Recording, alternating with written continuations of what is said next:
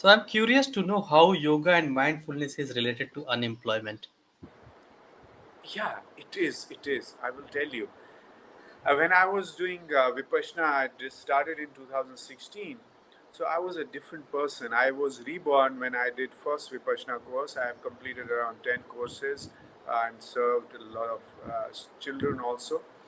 So, uh, so uh, then I realized that mindfulness, yoga, all these things, they they build you for the uncertain times and you make right decisions at bad times also. And you remain economous you re- remain balanced balanced person.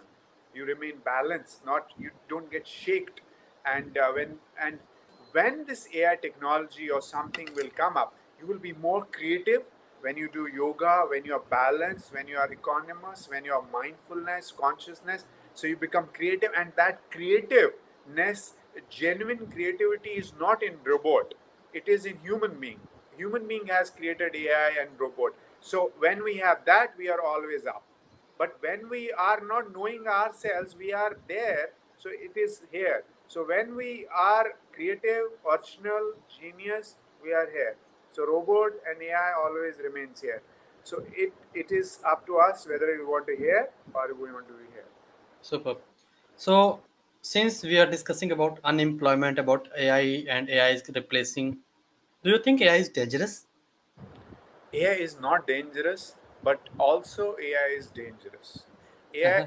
now you will tell me how can there be two answers to one question? Okay, it is it's called critical thinking. So in critical thinking, no answers are right or no question, no uh, okay, nothing is right or wrong. So I will tell you what is why it is dangerous and why it is not dangerous. Suppose uh, Albert Einstein created an E equal to mc square, and people use it for different technology exploration and science exploration, and they use it changed our perspective towards life and technologies we build. But we also build atomic bomb because we knew if we give um, energy to atoms at that speed of like uh, with uh, speed, so that the atomic uh, um, integrity gets disrupted and it will become a bomb. So everything is a bomb as per E equal to mc square.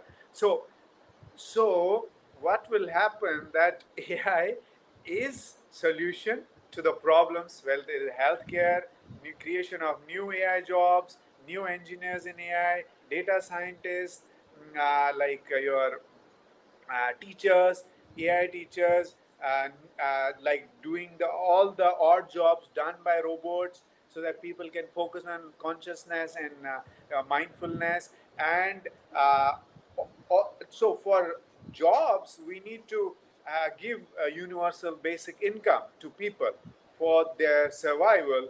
And then they can focus on creativity innovation and developing more solutions to fix other problems so that we focus on consciousness and developing ourselves and becoming better human beings.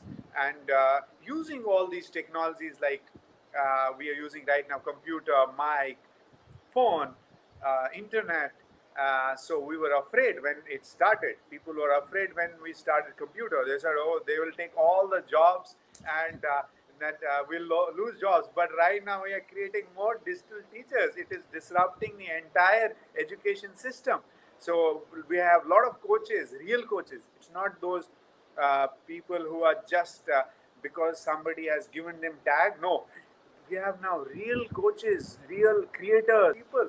They teaching you from bottom of their heart. They teach you real experiences, and it has changed the way um, they, uh, we were taught before in schools. We are not uh, aware. So now you can learn anything from anywhere. You can do